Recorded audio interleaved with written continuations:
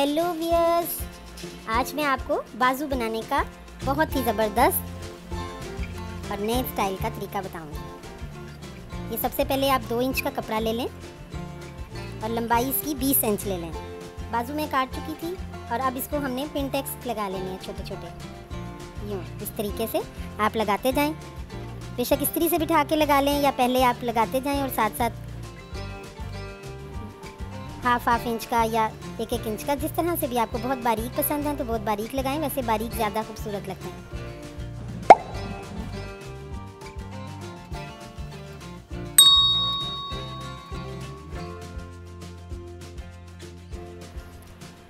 ये इस तरह से आपने सब पे इस पे निशान लगाकर आपने इसको पट्टी को तैयार कर लेना है। इसको आयरन करके इसको सारी पिंटक्स को बिठा लें। ताकि वो आयरन से अच्छे से नीट हो जाए। अब ये बाजू मैंने कटिंग की हुई है। इसको दरमियान से ये लेस लगाकर इसके ऊपर पिंटक्स के ऊपर निशान लेस लगाएँगे और इसको इसके ऊपर फोल्ड करेंगे।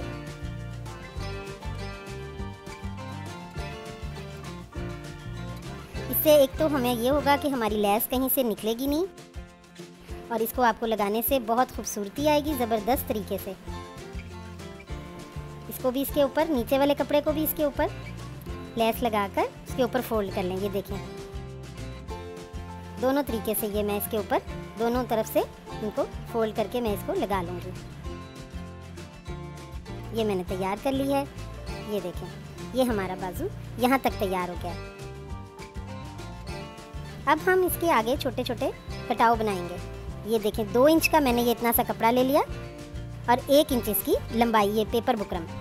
और इसको मैंने गुलाई में इस तरह करके डी शेप में दे देनी है, इसकी शेप दे देनी है। अब पहले आपने सीधी एक कपड़े पे लाइन लगा लेनी है, फिर उसके बाद ये जो आपने छोटे छोटे डी काटे हैं, ये इस तरीके से इसके ऊपर रखकर निशान लगा लें।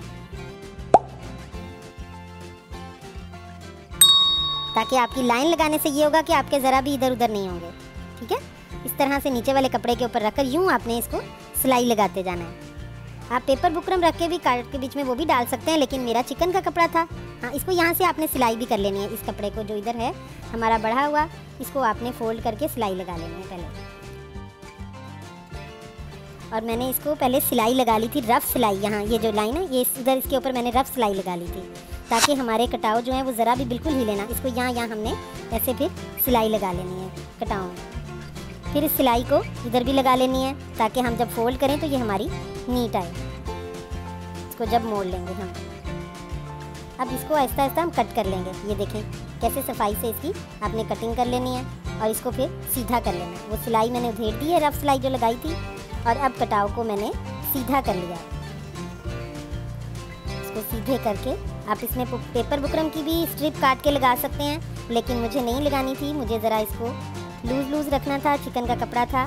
सख्त होता है, इसमें मैं पेपर बुकरम नहीं डालना चाह रही थी। ये देखें किस तरह से हमारे ये नीट बन के तैयार हो गए। अब इसके नीचे मैं एक और कपड़ा लगाऊँगी। इसके बिल्कुल किटाव के नीचे। मुझे अपनी बाजू की लेंथ थोड़ी सी लंबी करनी थी। ये मेरी 20 इंच इधर हो जाएगी इस कपड़े को लगाने से। तेरह इंच पे पहले मैंने काटा था बाजू को। उसके बाद ये मैंने डिज़ाइन बना के इसको 20 इंच का मैंने तैयार कर लिया। मेरे पास कपड़ा कम था, लंबाई में, इसलिए मैंने इसको बढ़ा के ये डिज़ाइन बनाया। लेस आगे भी लगा लें आप। ये कटाव इसके ऊपर आएँगे तो बहुत खूबसूरती भी आ जाएगी और कम कपड़े में हमने इतना खूबसूरत बाजू का डिज़ाइन भी बना लिया। इस कमीज़ का मैंने गला भी पहले आपको सिखाया था, वो भी पिनटेक्स लगी हुई थी इसके ऊपर भी।